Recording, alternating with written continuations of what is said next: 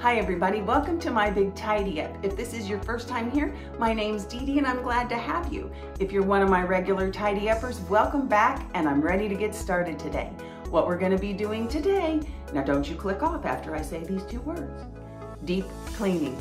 Do not click off. I know when we hear the words deep cleaning, it seems so overwhelming. It seems hard, time consuming, back breaking, but that's not what we're doing today. What we're doing today is what I like to call easy deep cleaning.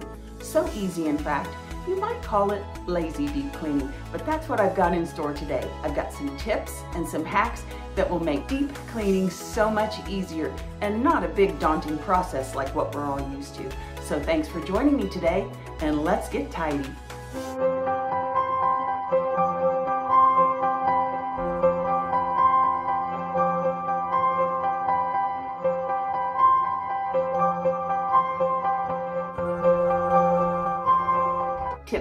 One, how to clean your kitchen cabinets easy style.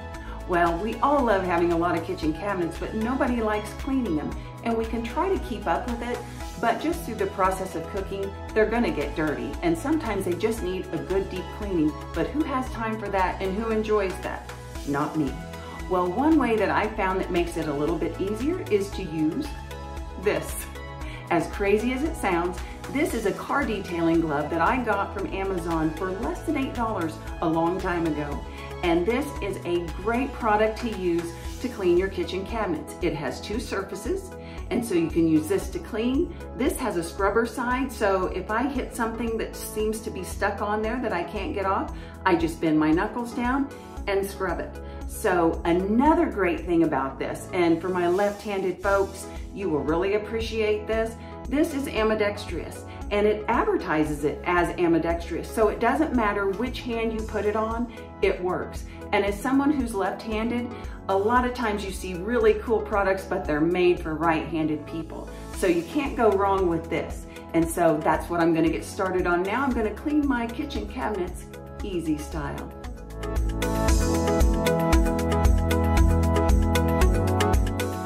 When I'm cleaning cabinets in the kitchen, I always just use hot water and a little squirt of Dawn dish soap, and it'll cut through any kind of grease or buildup, and it's still gentle on my cabinets.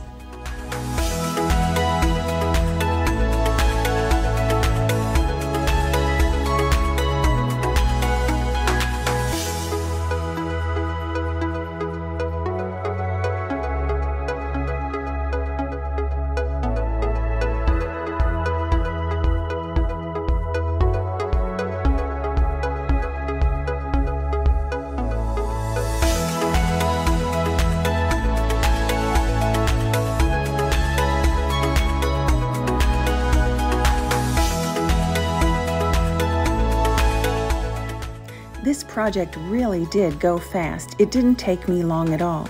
And I don't know about you guys, but sometimes it seems like just getting set up and getting everything ready actually takes longer than the process itself.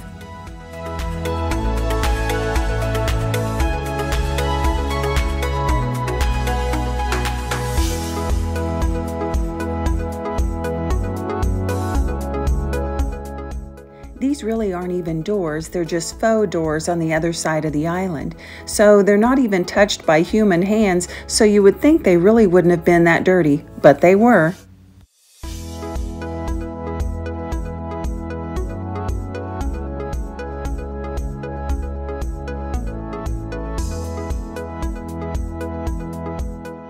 Here we go. Full disclosure, this is real life. And it hasn't been that long since I cleaned those cabinets, but day to day use sure does cause some dirty buildup. The kitchen is done. Now I know from this video you won't be able to tell how clean these actually are, but really the reason why I'm shooting this is so you can see the amount of cabinets that I cleaned. It actually only took less than 30 minutes and I was able to do all of these cabinets all the way around, get the island, and then over where we sit, I cleaned that wood as well.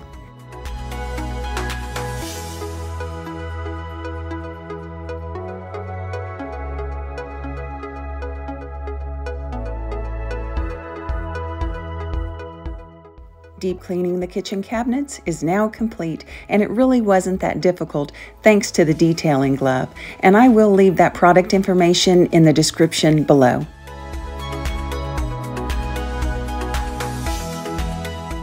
Tip number two, how to clean your baseboards and woodwork, easy style. Now in a previous video, I did show my preferred method on how to clean my baseboards, and that's using a Clorox wipe and then following it with a fabric softener sheet because once you put a fabric softener sheet on that wood, it tends to not attract the dirt and the dust as much. But since we don't always have time to do that, and we don't always want to get on our hands and knees and do that kind of job, today we're doing it easy style, and we'll be using this mop.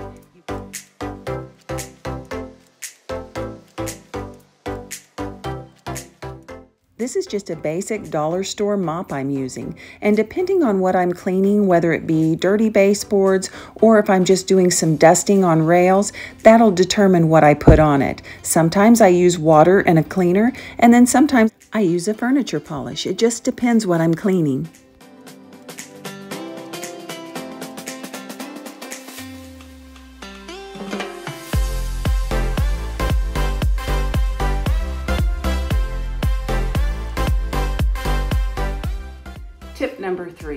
Deep cleaning our rugs the easy way.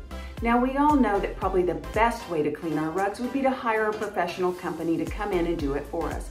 But that's pretty time consuming and very expensive. Another option would be is to own our own rug shampooer, borrow one, or rent one. However, that still can be expensive and takes a little bit of time.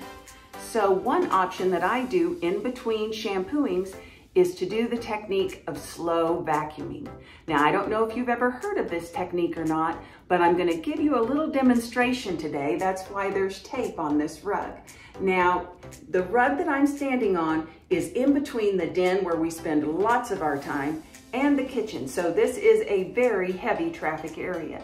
And I really honestly wanna show you the difference that slow vacuuming can make. And it doesn't matter if you have a corded vacuum or a cordless vacuum because I'm gonna demonstrate it with both. And you will see when we think we've got it picked up and that we're vacuuming really well and going over it so fast, there's still more hidden in there. Now it's not the same as having your rugs professionally shampooed, but it is a way to keep your pile up high and get that dirt that tends to bog down our carpets. So let's get started and let's slow vacuum. Okay, this first side I'm going to do, I'm going to use with the cordless vacuum. And I'm going to go ahead and run the vacuum just as I normally would because I want everyone to know that it wasn't staged and that I'm running it just as I normally would. Actually, probably a little more than I normally would.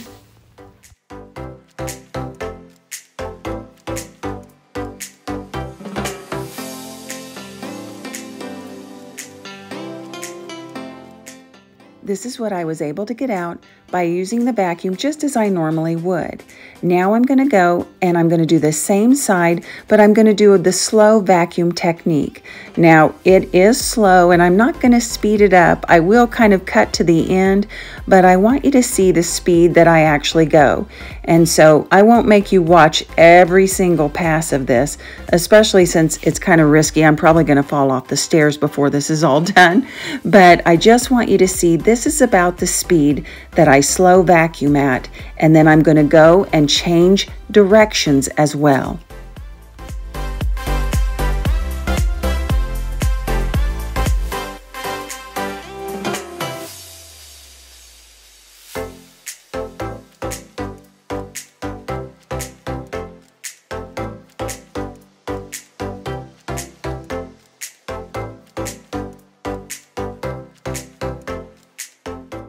Look what I was able to get out just by doing four simple, slow passes with the slow vacuum technique. That was just one pass.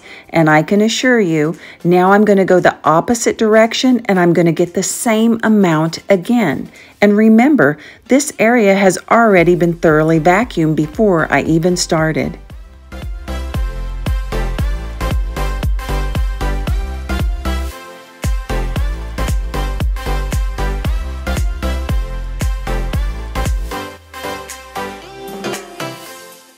And now for my corded vacuum.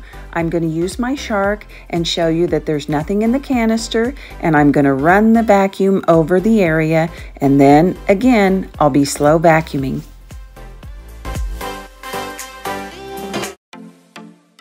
I am constantly amazed at everything I can get out of my carpet just by using the slow vacuum technique and going both directions. I promise you, if you will give it a try, you will be shocked and amazed at all the things that you can get out of your rug that you normally wouldn't get.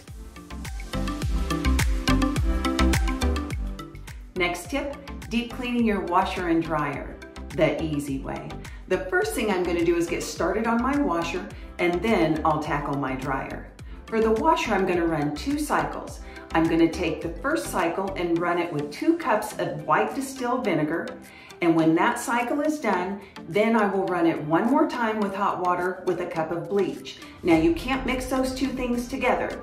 They each do different things. The first cycle with the vinegar will take care of soap scum and water buildup. The second one with the bleach will disinfect, but again, you can't run those together. Don't mix those together. So let's get started on that. And then I've got a nifty little tool that will help us get that dryer taken care of.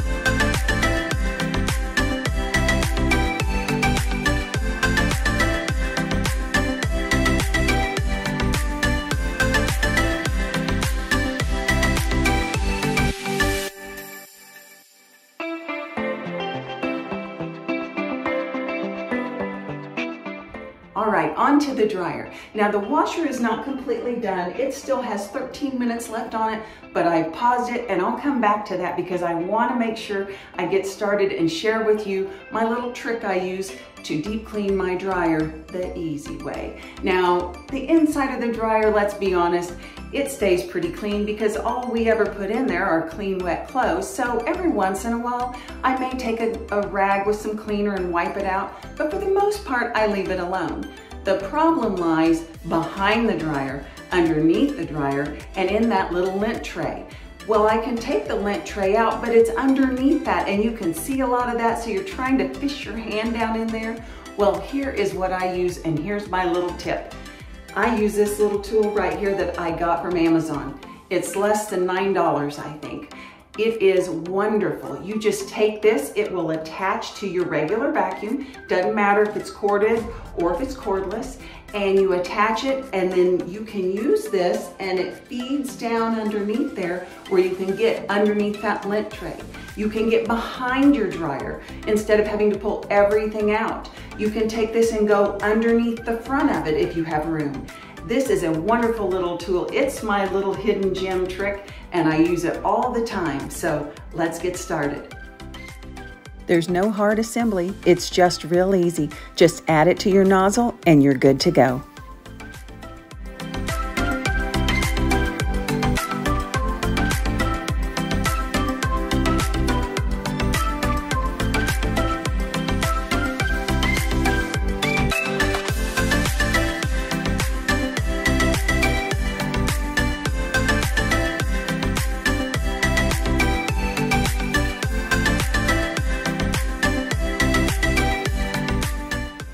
Works like a charm every time. I'll make sure that I leave the product information down below. Now, back to the washer. By the time I've run both cycles, one with vinegar and one with bleach, I usually have everything cleaned out of my washer. Now occasionally I will still have a little bit of dirt or buildup on the white rim, and for that I just wipe it down with an all-purpose cleaner and then take a magic eraser and gently go around the rim to make sure I've got everything off of there. I leave it open to dry and it's complete. Next tip, dusting the easy way. Now, it's not like dusting is that hard. It's not rocket science. We don't really enjoy it because it can be time consuming, but it's not hard. We know what we need to do. We take some kind of furniture polish or cleaning product, a small towel, and we're off to the races. Well, there are some things in our home that you just can't use furniture polish or a towel on. And so for those things like lampshades, because we sure wouldn't want to get those wet, or maybe draperies that are high up that you can't take off and launder all the time. Here's what I use. I use a lint roller. Works wonderful. It's a quick little hack. It's just run it over it real quick and you'll see it's clean and no trouble at all.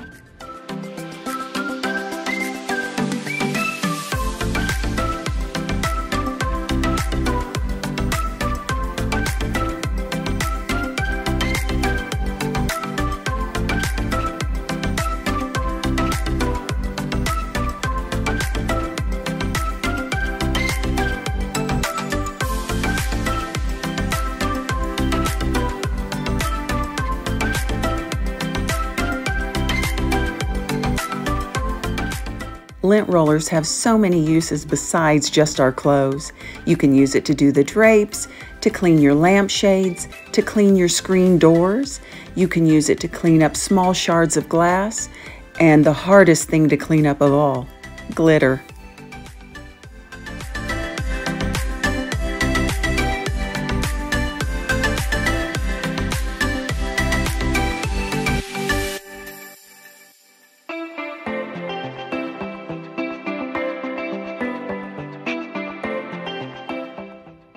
Final tip for deep cleaning the easy way. And this last one, it's a doozy. It has to do with cleaning our vents. Ugh, nobody enjoys doing that. And sometimes it's just unavoidable. We have to take them off the wall. We have to wash them, dry them, and put them back on. But one thing you can do so that you don't have to do that job very often is just to maintain them. And one thing that I have found that works really well is using an old makeup brush. You can just get in and brush in between the slats and it keeps it nice and clean. Another item you can use is those foam paint brushes. You know, the ones that you can get like five in a bag for like a dollar from the Dollar Tree. Those are awesome as well because the foam compresses and you can get right in between there.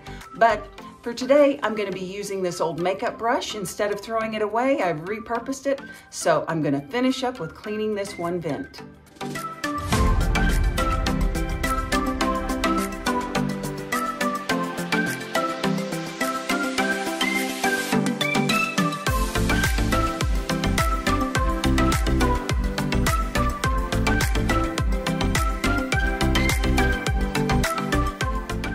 Well, friends, we've made it to the end of the video. Thanks for joining me for deep cleaning the easy way. I hope that when you hear those two words together, deep cleaning, that they don't seem so frightening anymore. That not every day is spring cleaning. All we have to do is just do a little bit at a time and maintain what we already have in our homes. I want to thank you from the bottom of my heart for supporting my channel. If you haven't subscribed yet, go ahead and subscribe and hit the notification bell so that you'll know every time I do a new video.